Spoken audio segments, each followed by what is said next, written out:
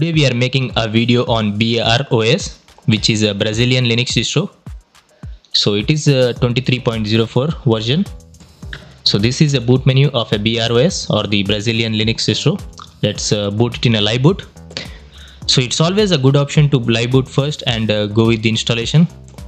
Uh, first live boot like a two to three hours use it uh, in a live boot. Uh, you didn't find any bugs or you didn't encounter any bugs or errors uh, go with the installation uh, with the linux distro. If you are only satisfied then go with the installation. So again if uh, it takes like a maximum of a one minute or uh, 30 to 40 seconds to load up the complete desktop layout. So this is a, a version of uh, 23.04 of uh, bros it's based on Debian and Ubuntu and uh, has a desktop environment of a KDE Plasma. I don't know anything much about this Linux distro because I never made a video on it in the previous uh, days. So I should be exploring with you. So let's check out how uh, good is this Linux distro. And I forgot to mention that uh, I'm running it as a virtualization which is uh, VMware with 80 GB of hard disk, 4 GB of RAM and with the two processors so again it takes uh, like a maximum of the one minute or a minimum of 20 to 30 seconds.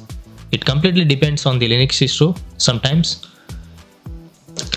So i forgot to mention another thing that i will be posting two videos daily. So i already posted a video of another content. If you want to check that out you can check that out after watching this video completely. So here is the welcome screen or the options you get uh, to boot the BROS which is a Brazilian OS Linux it didn't say anything like a Brazilian OS uh, it comes from Brazilian OS so I mentioned uh, like a Brazilian OS it just says as a BROS so I don't know how to call it. So in order to live boot you need to try BROS in order to install you can just click on install. So if you ask me it's always a good option to live boot first then go with the installation later after it's fully satisfied without bugs or errors. So let me go with the live boot first it's going to take like a 15 seconds more uh, to completely load up the desktop layout. So we need we need to wait for a few more seconds and we should be having our desktop layout completely loaded. As you can see here is a mouse pointer and you should be seeing a mouse pointer with a highlighter because I set it up in my screen recording software. So it says uh, welcome to plasma because it's a KDE plasma desktop environment I guess it should be having a latest version of a KDE Plasma that should be pretty good. So it is taking a few more seconds and we should be having our KDE Plasma or the BROS. I don't know who uh, named that like uh, BROS. You need to complete the Linux distro by naming the full name. Uh, if you recommend to someone what you're going to say like a BROS at least uh, give it like a Brazilian OS or the Brazilian Linux distro like that. It should be good. Uh, just by naming BROS I don't know it's uh, incomplete for me. I don't know it's uh, uh, how you feel for that. So here is the installer. Uh, we still has the installer. We need to have some desktop layout completely loaded. So here is the complete desktop layout. Let me change the resolution because I'm running it on a VMware so I need to change the display settings by right clicking on the mouse. And looks like uh, it is taking a lot of time to load up everything so let's uh, check the system resources after setting the display. Mine is 1920 into 1080 with a 16 to 9 ratio. If you can't see the text or the font size properly you can change the global scale uh, to 120 percent or 150 percent. Uh, with 1920 into 180 uh, 150 percent should be pretty, uh, pretty good option or the uh, setting about this system it's a BROS and this is the website. If you want to click on the website you can just type it in the uh, search bar or the web browser. So it has the latest version of KDE Plasma. That's pretty good. And frameworks has the old version which is 5.104 still the latest version. The latest version is like a 5.105 and Qt version is a 5.15 kernel is a 6.2.0 the latest version of kernel is a 6.3 which is released like a week ago so graphics platform x11 so this is my cpu hardware information. If you want to go through all this thing pause the video and check it out. So let me close this thing and open the application menu and open the system monitor. Because we need to see how much of resources are consuming uh, before opening any apps. So we should be having an idea of uh, how much resources are consuming. I'm going to open the system monitor again at the end of the video. So you should be having an idea of uh, or you should be uh, uh, you should be judging on your own to use this linux distro or not. So right now it's almost like a 1.5 gb of uh, ram of 4 gb and cpu is almost under like a 25 percent maximum or the roughly 25 percent under 25 percent as you can see.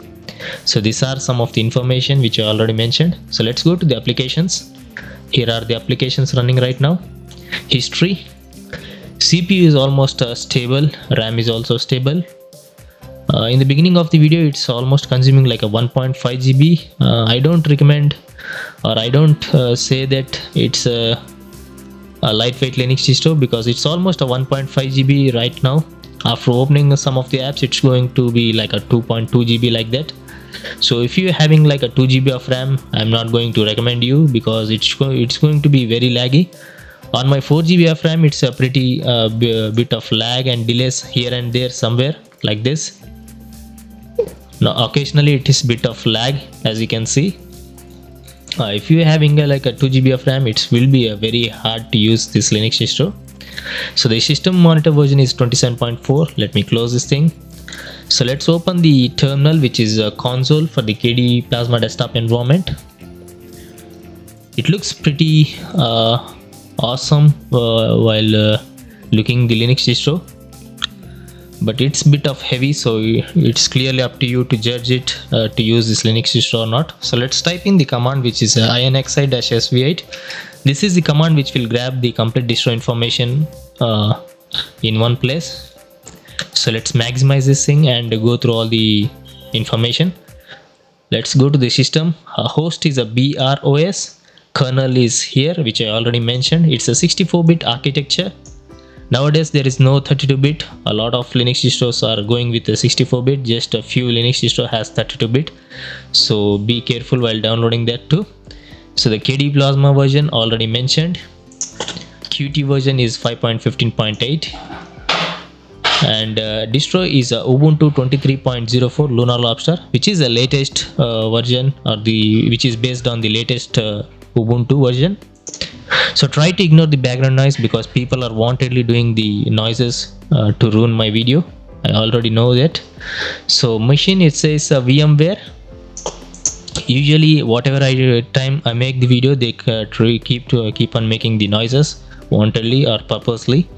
So try to ignore that.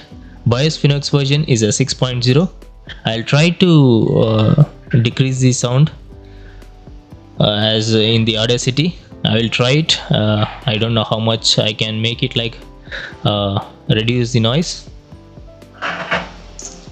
So the RAM is almost uh, 1.38 GB of 4 GB and this is my CPU uh, information is here CPU if you want to check that out you can pause the video and check it out. So let's scroll it down and find some of the other information so graphics it says uh, display is x11 server is xorg vmwa uh, gfx version is a 2.20 and xorg version is here. Xwayland version is 22.1.8 and let's scroll it down and here are the all the monitor resolution and the display resolutions available for this distro. Opengl version is a 4.1 mesa is 23.0.2 so the pipewire version is a 0.3.65 and ALSA version is here. So let's scroll it down. And it says 80 GB for my hard disk because I choose the 80 GB of hard disk for my uh, what you call it uh, VMware.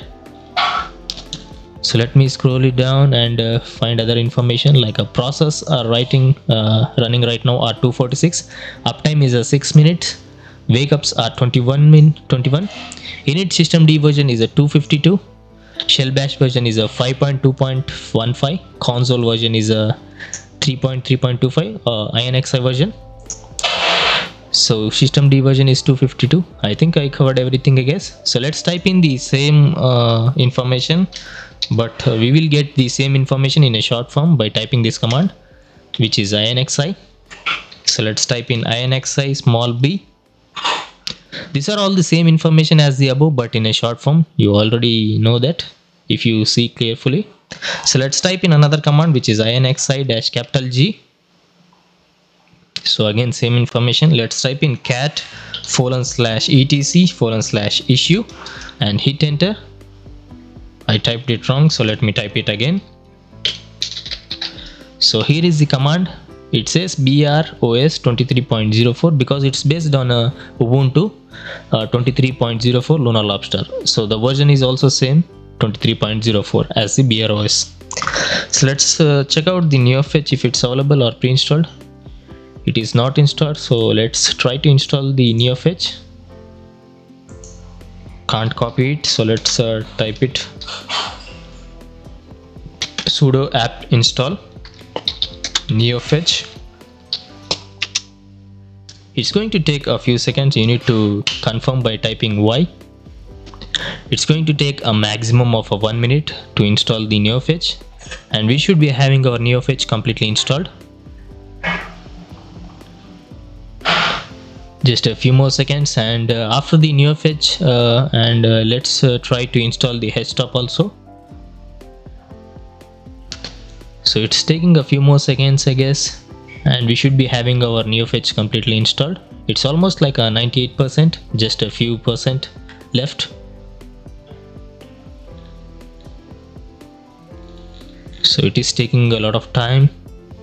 That's the reason I mentioned you need to uh, wait for at least a minute. Here is the NeoFetch complete information. So let's type in the htop htop is also not pre-installed so let's uh, try to install the htop also which is sudo apt install htop it's it should take like a maximum of uh, 10 seconds that's it. Htop didn't uh, don't take a lot of time to install. So just a few more seconds and htop is installed. Let's type in the htop here is the information. The ram is almost a 1 gb tasks are 81 cpu is around uh, below 10 percent. So this is the complete information of the distro. So let's close it. So let me open the firefox web browser and uh, take you to their official website and i'm going to show you the download process also. And uh, by launching the firefox web browser it should take like a maximum of 20 seconds. And the firefox is the default web browser for almost every linux distro almost 70 to 80 percent.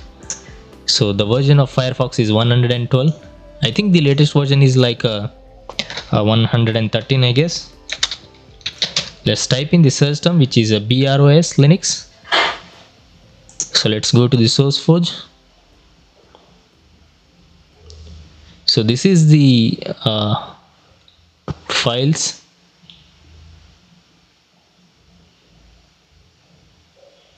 So let's go to their website which is uh, here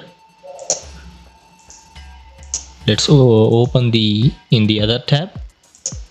Or you can directly download it from here like going to files in the SourceForge I think they don't have the official website. So maybe this, this should be their uh, source or the official website. So the file size is around like a 4.7 GB which is pretty big size uh, if you have a limited internet connection you should be having a problem of downloading a 5 GB if you have an unlimited internet connection there is no problem for that. So the latest version is a 23.04 so let's click on it. If you have anything problem with the SourceForge you can just click on the problem downloading and choose your server. Uh, the best server is like a United States one uh, which is pretty fast. So it's clearly up to you to choose whatever server you want so it's going to take like a 5 second and uh, it should trigger a download. So let's wait and see. Here is the downloading size or the downloading of ISO file. It's almost like a 4.3 GB but it says like a 4.7 GB you already know 1024 MB is all, almost like a 1 GB so let's close it. So that's the downloading process and the official website. So let's go with the installation process now by double clicking on the installer it should launch the installer and uh, I'm going to show you the process of installation. I'm not going to install it because I don't want to. Just for the sake of the video I'm just going to show you the installation process. Again it's a KDE Plasma desktop environment installer so everything will be same nothing complicated here. No need to worry or uh, scared of uh, anything. So first you need to choose your language because there is a lot of uh, languages available uh, choose your own language here. Click on continue after choosing the language. And you should be seeing a keyboard layout. Choose your keyboard layout. I'm choosing the english united states on the both side. Layout and the variant. So click on next. Here is the some of the uh, updates and other software after downloading the 4.3 GB or 5 GB of file size no one goes with the minimal installation because the minimal installation will be having like a web browser and some uh, basic utilities like a mouse uh, notepad uh, not notepad like a text editor and some like a calculator all these uh, basic things. So go with the normal installation. If you ask me i'm going to choose the normal installation. And on the other options it's going to uh, give you two options like uh, download updates while installing BROS this saves time after installation. So it will update or give you the latest updates uh, while installing. So uh, check this button if you want. If you don't want you can uncheck it and later uh, update it on your own the other option is like a install third party software for graphics and wi-fi hardware. So it will be helpful. So if you check this button right now it will be helpful. If you don't want you can do that later on your own. It's clearly customizable to you. So click on next after choosing the option. It's going to say uh, preparing ubuntu drivers. It's going to take a maximum of 40 seconds. We need to wait for 40 seconds and we should be having our disk setup so instead of waiting for that let's check out the uh, desktop features and here you can see it's like a mac os desktop uh, layout. Not a completely mac os uh, uh, desktop layout. It's just a dock nothing more than that. So the date and calendar notifications and some of the status status bar and notifications internet connection device and disks volume volume and applications volume. That was the sound from the linux distro updates I guess. And I don't know what it is. It says uh, get plasma integration. It changed the icon uh, so that's the reason I didn't get it. So here is the uh, let's go back to the installation uh, thing and uh, check out this information. So the installation type if you choose the guided use entire disk it's going to delete the current operating system and it's going to install the BROS as the default uh, or the single boot installer or the OS so be careful while choosing this option. So you need to be having an idea of what you're doing here. Don't just blindly go with the everything. You need to be have an idea of what you're doing here so here is the encryption. If you want to encrypt your system you can uh, encrypt by providing the password in the both the boxes which should be same. And if you choose the manual partitioning you need to be uh, choosing the partitions. If you created already a partitions uh, you should be going to that partitions. So this is the option which will give you the dual boot operating system. This is the single boot option and you need to choose your hard disk if you have a multiple hard disk or ssd or whatever the installation destination you have. So choose that one. After clicking on install now it's going to ask you for the time zone. User information is like a username password you need to provide that too and you need to click on install. It's going to take uh, like a maximum of uh, 20 minutes or a minimum of uh, 5 to 8 minutes. It completely depends on the linux distro and the system resources. If you have a good npc it should be very quick. If you have a low npc it should be taking a lot of time. So that's the installation process. So again always uh, boot it in a live boot first. Uh, use it like a two to three hours and go with the installation after you're satisfied without a bugs and errors so that's the installation process. So let me close this thing. Again i want to give you the uh, information that always uh, when you're using a live boot don't save anything in the live boot because as soon as you reboot or restart the uh, live boot it's going to erase everything. So be careful with that. So that's the installation process. So let's go to the other options which are like a we already saw the desktop features. We just left with the desktop wallpapers let's go to the desktop wallpapers. They have some good wallpapers. Here is the best one. They have the best wallpapers as you can see here. There is nothing from the KDE Plasma desktop uh, environment. So let's check out the this is the best one. I love the nature wallpapers like this sceneries all these things. It looks pretty awesome. As a mountain houses greenery everywhere. So this is pretty awesome let's go to the settings back. There's like a lot of good wallpapers as you can see like this one. There are plenty of wallpapers. Not plenty just uh, like uh, 3 4 5 6 7 8 16 17 wallpapers. Almost everything every wallpaper is good. So that's the wallpapers and folder view version is 3.0 so i think we covered everything. So let's uh, check out the pre-installed apps which comes with the uh, BROS let's go through all these things. In the development we have two apps. On the graphics we have almost uh, important apps.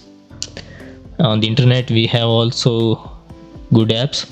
BROS loaded with the complete best uh, softwares applications which comes uh, pre-installed. They're all all the uh, important apps. So no need to install uh, any other apps. So this is the best thing in the BROS but on the resources side we need to check it again at the end of the video. So we should be seeing how much of resources it should be consuming after opening the some of the apps. I'm not going to open every apps because it's going to take a lot of time uh, in just uh, opening the apps check out all the versions. There will be all the latest version because uh, it's a latest uh, uh, based ubuntu so you can guess it uh, almost like every app should be the latest version like a krita k text editor and like a telegram app. All the apps will be having the latest version. So on the updates we have some of the apps uh, like almost like a 75 mb of uh, updates. So not a big updates there so i think we completed everything i guess. Let me open just a few apps uh, because we need to see how much of resources it will take after opening like four to five apps. So let's open gimp. Uh, after opening gimp let's check out other apps like uh, there is OnlyOffice. On the graphics we have like a inkscape. Let me open krita too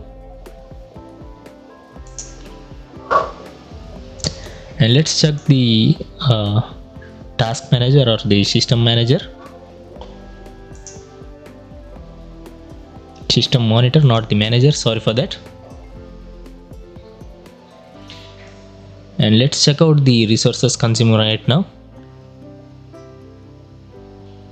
It is taking a few seconds to load up because I already opened like a three heavy apps like Inkscape and GIMP is a heavy one. It's almost like a 2.4 GB so as you can see let me CPU is also almost completely 100% let, let's close this thing and uh, let's check out the information of the apps. It's a 7.3.3.50 let's close this thing. And inkscape version is a 1.2 let's uh, save it. Let's click on thanks. Let's load the document and check the version. And gimp version should be like a 2.10.34 let's close this also. And inkscape version about inkscape. It's a 1.2 which I already mentioned. So let's close this thing also. And Krita it's a 5.1.5 we saw uh, almost uh, important apps so let's check the system monitor and uh, end the video because that's the only thing left right now. We covered everything almost the important things. There is no need to open everything because uh, that's not important. The installed version will be highlighted with the green uh, mark. So i'm going to scroll it very fast. For example i'm going to show you the installed version. So like this the installed package will be like this. So let me quickly run through all these things i'm doing this because it's going to take a lot of time. So if you want to slow it down you can change the playback speed in the youtube settings and you should be seeing the uh, packages installed. So the version is 5.8.0 Muon package manager. Let's open the system monitor and end the video. Beginning uh, it was like uh, i guess 1.5 gb but it's like a 2.0 gb after uh, opening some of the apps. Uh, cpu is almost around like a 25 percent. So it's clearly up to you to use it or not. So on the application side it is it comes with almost uh, good app uh, applications.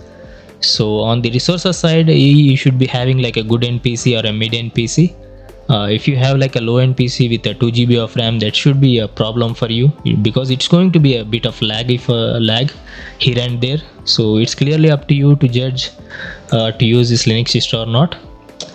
So on the good side it has like a latest applications and the uh, it is based on the latest version which is uh, ubuntu 23.04 lunar lobster. So again it's clearly up to you. So that's the end of the video so i already posted another content of another video because i'll be posting two videos daily. So if you want to check that out you can check that out after watching this video. So that's the end of the video. Again thanks for watching. I hope you enjoyed this video. If you did hit the thumbs up button. It helps make a good content for you. Other than that i'll see you in tomorrow's video. Peace out